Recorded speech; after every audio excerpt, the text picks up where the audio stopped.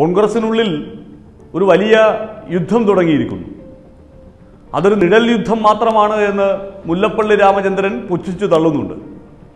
പക്ഷേ നിഴൽ യുദ്ധമല്ല എന്നും ഗ്രൂപ്പ് രാഷ്ട്രീയത്തെ ഇല്ലാതാക്കുമെന്ന് പ്രതിജ്ഞ ചെയ്തെത്തിയ മുല്ലപ്പള്ളി രാമചന്ദ്രൻ ഗ്രൂപ്പ് മാനേജർമാരുടെ കളിപ്പാവയായി മാറിയതുകൊണ്ട് തന്നെ പാർട്ടിക്കുള്ളിൽ മുതിർന്ന നേതാക്കൾ അംഗീകരിക്കപ്പെടാത്ത ഒരു സ്ഥിതിവിശേഷമുണ്ട് എന്നുള്ള വാദമുയർത്തുന്ന കെ മുരളീധരൻ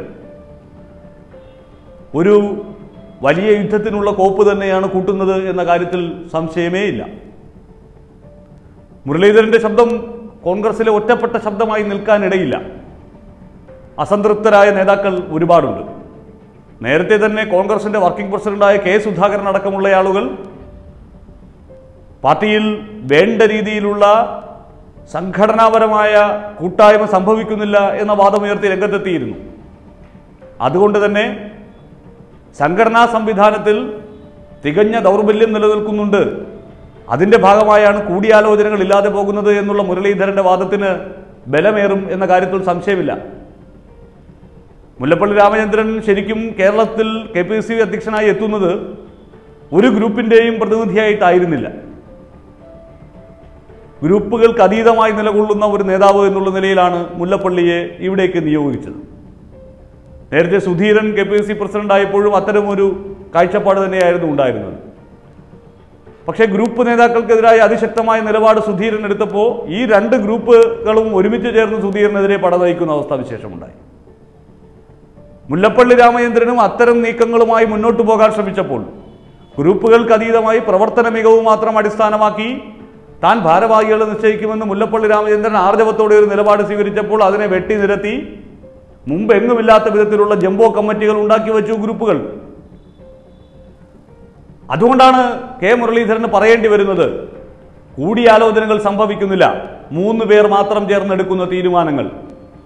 ഉമ്മൻചാണ്ടിയും രമേശ് ചെന്നിത്തലയും മുല്ലപ്പള്ളിയും മാത്രമുള്ള കോൺഗ്രസ്സായി ഇപ്പോഴത്തെ കോൺഗ്രസ് മാറിയിരിക്കുന്നു എന്നാണ് മുരളീധരൻ പറയുന്നത്. മുരളീധരൻ അത് തുറന്നു പറയുമ്പോൾ അതിന് നിഴൽയുദ്ധമായി മാത്രം മുല്ലപ്പള്ളി രാമചന്ദ്രൻ കാണാൻ ശ്രമിക്കുമ്പോൾ യഥാർത്ഥത്തിൽ പാർട്ടിക്കുള്ളിൽ മുരളീധരൻ പറയുന്ന വാചകങ്ങൾക്ക് മുരളീധരൻ പറയുന്ന നിലപാടുകൾക്ക് പിന്തുണയേറുന്നുണ്ട് എന്നുള്ളതാണ് യാഥാർത്ഥ്യം. പലരും അത് പരസ്യമായി പറയാൻ ശ്രമിക്കുന്നില്ല എങ്കിൽ പോലും നേരത്തെ സുധാകരനിലൂടെ തുടങ്ങി വെച്ച് പാർട്ടിക്കുള്ളിലെ പല മുതിർന്ന നേതാക്കളും പറയാൻ ആഗ്രഹിച്ച കാര്യമാണ് ഇപ്പോൾ മുരളീധരൻ ആവർത്തിച്ച് പറഞ്ഞുകൊണ്ടിരിക്കുന്നത് എന്നുള്ളതാണ് ഏറെ ശ്രദ്ധേയമായ ഒരു കാര്യം. ഇനി തെരഞ്ഞെടുപ്പ് കാലമാണ് വരുന്നത്. തെരഞ്ഞെടുപ്പ് കാലത്തും ഈ പറയുന്ന നേതാക്കൾ അവരുടെ ഇഷ്ടപ്രകാരം തങ്ങളുടെ ആളുകളെ മാത്രം സ്ഥാനാർത്ഥി നിർണയത്തിലടക്കം പരിഗണിക്കുന്ന ഒരു സാഹചര്യം ഉണ്ടാകാതിരിക്കാൻ കൂടിയാണ് മുരളീധരന്റെ ഈ നിലപാടുകൾ വരുന്നത്. മുരളീധരൻ കഴിഞ്ഞ ദിവസം ഒരു ചാനലിന് നൽകിയ അഭിമുഖത്തിൽ പറഞ്ഞ മറ്റൊരു കാര്യം കൂടിയുണ്ട്. യു ഡി എഫ് കൺവീനർ സ്ഥാനത്തേക്ക് തനിക്ക് ആഗ്രഹമുണ്ടായിരുന്നു എന്നുള്ള കാര്യം. മുരളീധരൻ അതിന് അർഹനായിട്ടുള്ള ഒരാളുമാണ്. കെ പി സി പ്രസിഡന്റായിരുന്ന ഒരാളൊക്കെയാണ്. ഏറ്റവും നല്ല ബന്ധം യു ഡി എഫിലെ ഘടകകക്ഷികളുമായൊക്കെ വച്ചു പുലർത്തുന്ന ഒരാളാണ്.